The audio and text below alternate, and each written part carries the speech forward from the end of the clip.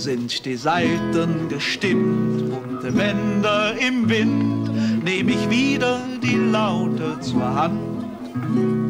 So zieh ich hin übers Land und ich bin Till Eulenspiegel genannt.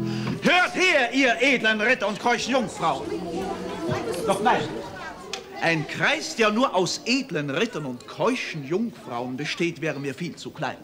Hört her, ihr Nichtstuer, ihr Verrückten, ihr Beutelschneider und sonstiges Jahrmarktgesindel, der so wie ich als Hofnarr auf Reisen und bei Hof war, hat vieles von der Narrenwelt gesehen.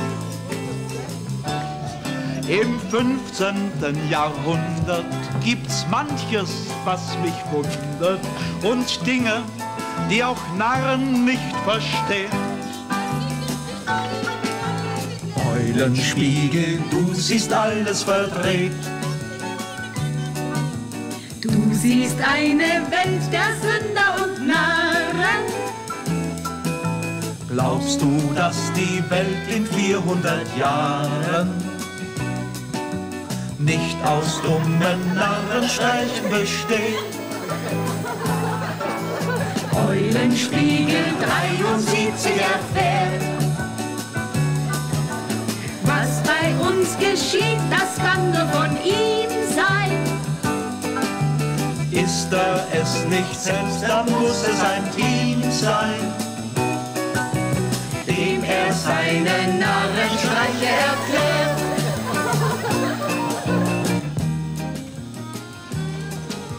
Eulenspiegel, gib uns einen guten Rat.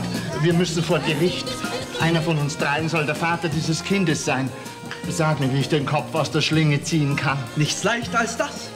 Auf die Frage, ob er der Vater des Kindes sei, antwortet jeder von euch mit Ja. Aha.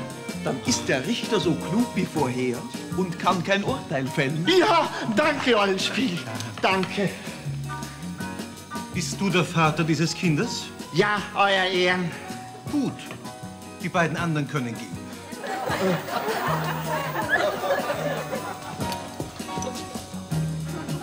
Haben Sie auch Fremdenzimmer? Ei gewiss, deren Zween. Das Geisterzimmer? Ach, ich fürchte mich nicht. Na, aber der Geist, der fürchtet sich immer halb tot, wenn einer drin übernachtet. Und das zweite? Das ist das Turmstübchen, allerdings 187 Stufen. Ohne Lift? Ohne Lift. Aber ich lasse jetzt einen einbauen, allerdings erst in so drei bis 400 Jahren. Ich warte so lang.